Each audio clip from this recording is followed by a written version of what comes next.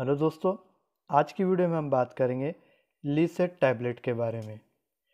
दोस्तों, लीसेट टैबलेट है तो लीफोर्ट कंपनी का मैन्युफैक्चर किया हुआ है और इसकी 10 गोली के पैक की कीमत होती है सत्रह रुपये और छत्तीस पैसे। और दोस्तों, इसके अंदर कंटेन आता है cetirizine, hydrochloride tablet I P ten M में।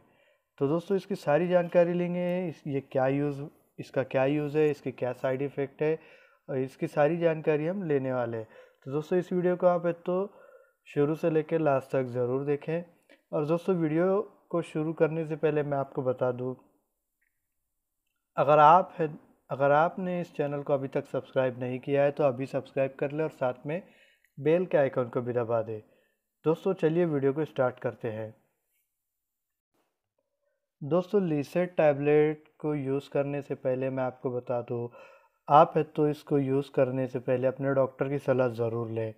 दोस्तों, चलिए इसकी यूजेस देख लेते हैं। दोस्तों लीसेट टैबलेट का इस्तेमाल है तो एलर्जी के लिए किया जाता है और अगर आपको छींक आ रही हो या फिर बॉडी पर कहीं पर भी आपको खुजली आ गई हो या दाद हो गया हो तो उस कंडीशन में आप है तो लीसेट टैबलेट का इस्तेमाल कर सकते हैं।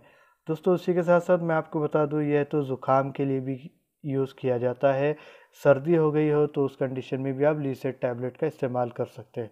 दोस्तों, इसके अंदर कंपनी ने सेट्रिजिन टैबलेट डाला है, यानी कि सेट्रिजिन ड्रग डाला है। तो सेट्रिजिन का इस्तेमाल है तो अक्सर खुजली के अंदर होता है, दांत के अंदर होता है एलर्जी के अंदर होता है।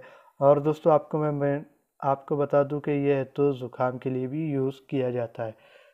और दोस्तों, अब, और दोस्तों, अब इसके हम साइड इफ़ेक्ट जान लेते हैं।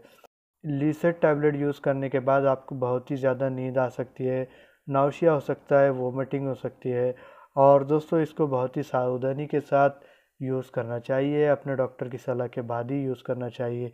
दोस्तों अगर आपको इसके ज़्यादा कोई साइड इफ़ेक्ट नज़र आते हैं तो आप ये तो अपने डॉक्टर की, अपने डॉक्टर को ज़रूर बताएँ। दोस्तों ये था एक छोटा सा रिव्यू लीसेट टैबलेट के बारे में। दोस्तों, ये वीडियो अगर आपको अच्छी लगती है तो इसे लाइक करें, अपने दोस्तों में शेयर करें और चैनल पर अगर आप नए हैं तो इसको सब्सक्राइब ज़रूर कर लीजिए।